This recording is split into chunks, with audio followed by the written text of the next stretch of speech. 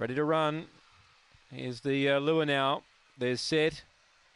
Away, or going up in the air, Dinah Beryl showing speed. Molly's Wally driving her Ford Urquhart jacket quickly. Uh, Shaw's last found the rail in third, and they're about three lengths clear of Star Project.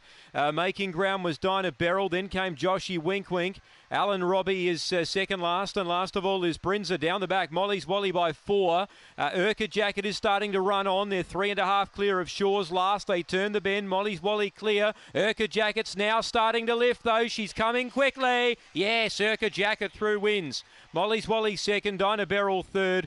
Shaw's last fourth. Then Joshy Wink Wink Star Project. Uh, Brinza and Alan Robbie back at the rear. So great uh, run here by Jacket. Gee, she's been unlucky lately at uh, at Angle Park, and today she's found the rail mid-race. And she's got underneath there of Molly's Wally to claim the day. Number five, Urquhart Jacket. Number five defeats one, uh, Molly's Wally. And uh, 30 and 38 the run. Molly's Wally had it race uh, shot to bits, but right on the peg, Urquhart Jackets dived underneath to get it. Two Dinah Beryl did a good job. It missed the kick. Three fourth Shaw's last, 30 and 38, 5 1 2 3. Urquhart Jacket gets the result. Urquhart Jacket, number five.